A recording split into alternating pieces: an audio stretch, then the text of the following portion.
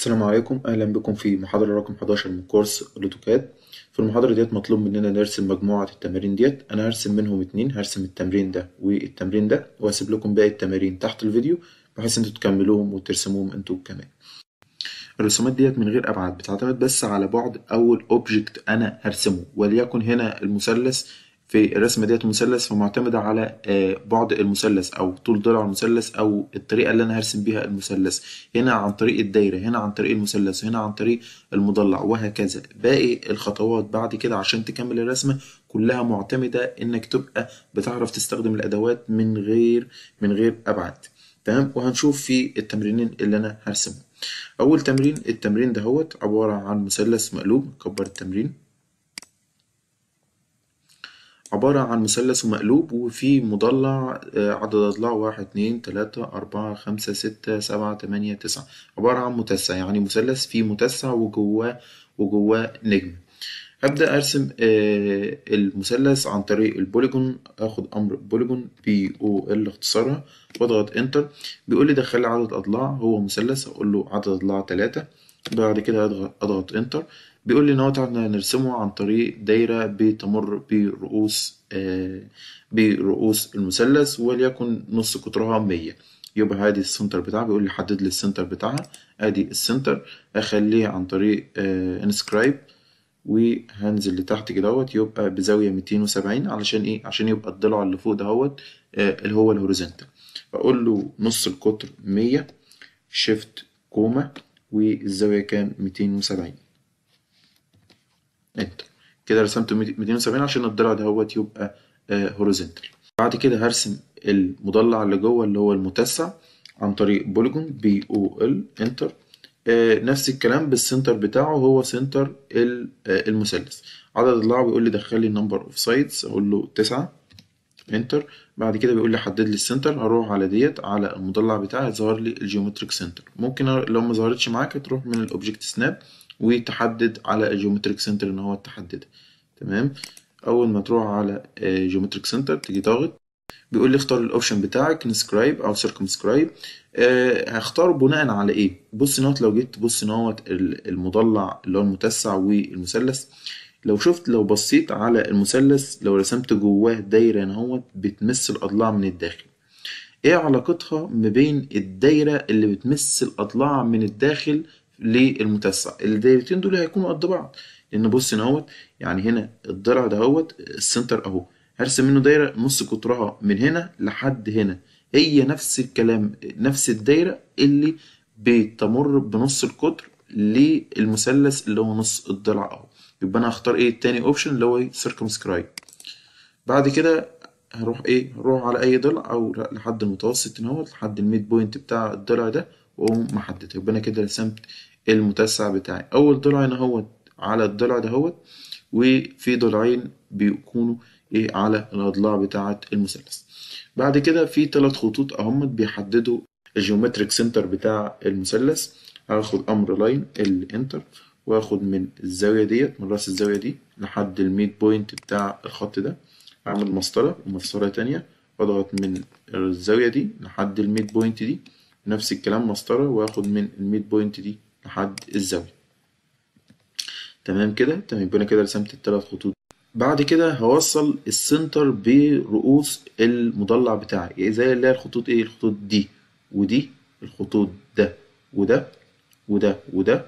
وده. وده. عبارة عن خطوط من ال center للرؤوس للرؤوس بتاعة المضلع. هاخد أمر line L enter وآخد من هنا من تقاطع ال intersection ده لحد الزاوية دي أعمل مسطرة مسطرة كمان.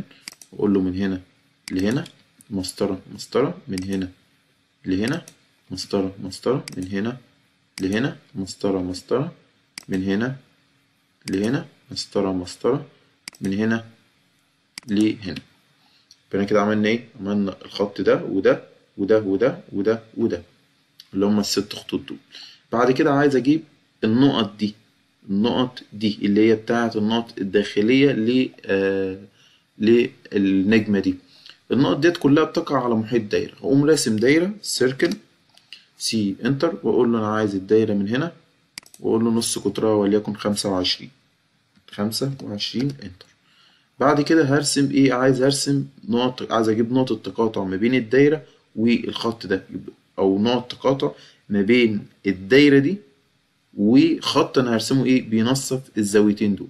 ممكن أعمل كل زاوية لوحدها يعني عن طريق اللي أنا ارسم line بينصف الزاوية دي والزاوية دي عن طريق ال xline XL enter وأقول له أنا عايز أعمله اللي هو bisect وبقول له أقول له ده ال center بتاعه وأقول له من هنا نصف لي من الزاوية دي لحد الزاوية دي.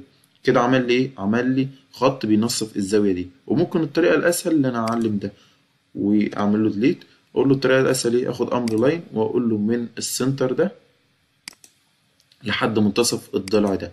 كده عمل لي إيه؟ عمل لي خط بينصف الزاوية دي. والتقاطع ما بينه وما بين الزاوية التقاطع ما بين الخط ده والدايرة هي دي النقطة اللي إحنا عايزينها. أقوم مكرر نفس الكلام على باقي الخطوط. آخد من التقاطع ده لنص الخط ده. أعمل مسطرة من هنا لهنا مسطرة مسطرة. من هنا لل midpoint دي مسطرة مسطرة. ومن هنا لل midpoint دي مسطرة مسطرة. من ال center لل midpoint دي. كده أنا جبت نقطة تقاطع النقط دي والنقط دي. هقوم موصلها ببعض. آخد أمر line مسطرة عشان هو كان آخر أمر. أقول له من الانترسكشن ده للانترسكشن ده للانترسكشن ده للانترسكشن ده وهكذا. اوصل بس نقط ببعضها. أهي عشان أعمل النجمة بتاعتي. أهي. بص كده النقطة دي. جت صح. معايا عشان كنت عاملها ال midpoint لو نقطة جت غلط يعني مثلا أنت جيت مثلا رحت ضاغط هنا أهوت. ضاغط هنا كده مثلا نقطة تانية بعيدة أهي. عايز أرجع أعمل control Z كده رجعنا عند النقطة الأول. أو أعمل إيه؟ undo كده؟ التقاطع ده التقاطع ده التقاطع ده والتقاطع ده. كده كملت إيه؟ كملت النجم. في خطوط الخطوط اللي أنا كنت عاملها والدايرة هقوم شايله أشيل الخط ده وأشيل الخط ده وأشيل الخط ده وأشيل الخط ده وأشيل الخط ده. مش ده. أشيل الخط أشيل بقى. اشيل بقى الخطوط اللي أنا كنت عاملها عشان أجيب نقطة التقاطع دي اللي هو الخط ده والخط ده والخط ده والخط ده ومن هنا أشيل الخط ده وأشيل الخط الخط ده أهو. كده دول إيه؟ الست خطوط اللي أنا هشيلهم.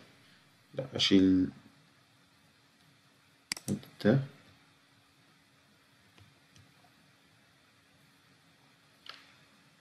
فاضل ان أنا بقى إيه أشيل الخطوط. فاضل ان أنا أشيل بقى الخطوط والدايرة. الخطوط دي اللي أنا كنت جايبها والدايرة عشان أجيب نقطة التقاطع أشيل الخط ده والخط ده وأشيل الخط ده وأشيل الخط ده وأشيل الخط ده وأشيل الخط ده. دول الست خطوط اللي أنا هشيلهم واشيل الدايرة دي. مش موجودة. أعمل لهم ديليت يبقى كده أنا رسمت إيه؟ رسمت ال آه النجمة بتاعتي. وخلصت الشكل. كده رسمت أول إيه؟ أول شكل. تعالى ندخل على التمرين التاني والرسمه التانية. صغر. دي مجموعة التمارين. أدي الرسمة التانية. أكبر. الرسمة التانية عبارة عن مضلع عدد أضلاع واحد اتنين تلاتة أربعة خمسة ستة سبعة تمانية تسعة. عدد أضلاع برضه متسع وفي نجم. هنرسمها جنبهم اهوت أضغط على scroll وأسحب.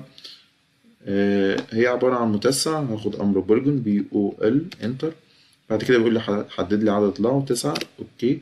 بعد كده بيقول لي حدد لي ال center. أدي ال center أهوت. هترسمه ب inscribe ولا circumscribe أقول له إيه؟ circumscribe وبيقول لي ان هو تحدد لي الضلع بتاعه. هو بص هنا هوت إيه؟ بيقول لي إيه؟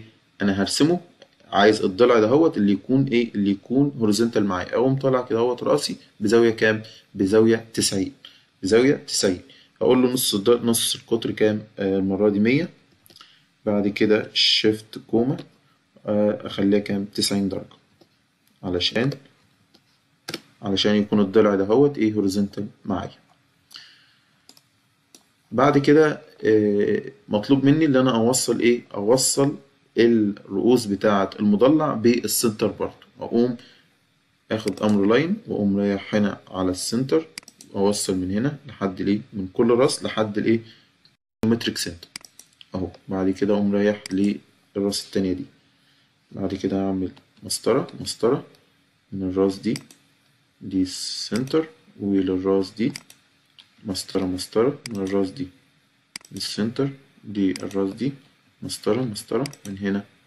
لهنا لهنا مسطرة واخد من هنا.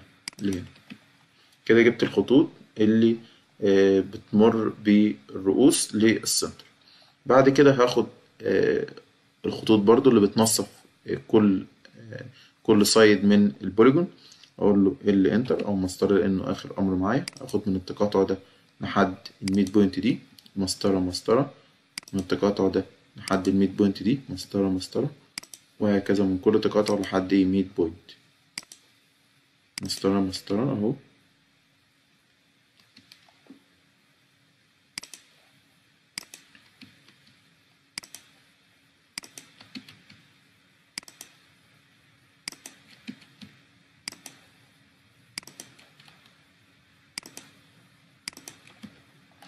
كده إيه رسمنا خطوط بتمر من ال center للراس ومن ال center للتقاطع. فاضل أنا اعمل دايرة علشان أجيب إيه؟ أجيب نقط التقاطع ما بين الدايرة والخطوط دي. اخد الدايرة أمر circle C enter ادي ال center بتاعها واقول له المرة دي خليها دايرة كام؟ 50 ملم أو ممكن آه خليها 50 عشان تبقى في النص. بعد كده نقطة التقاطع هشيل الزيادة أي زيادة اللي هي بتاعة الخطوط هي الخطوط إيه؟ طالعة من ال center لحد ال- الدايرة بس فهشيل الزيادة.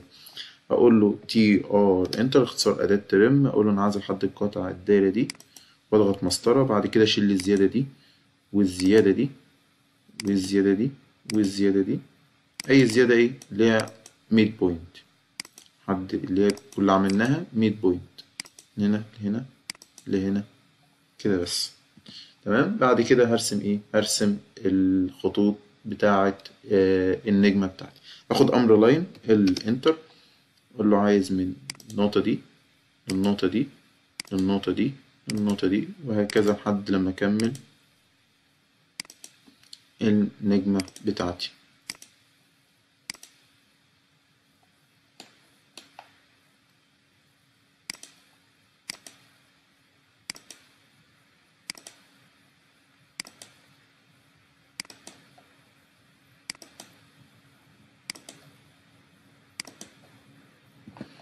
بكده يكون إيه؟ اكتملت الرسمة بتاعتي.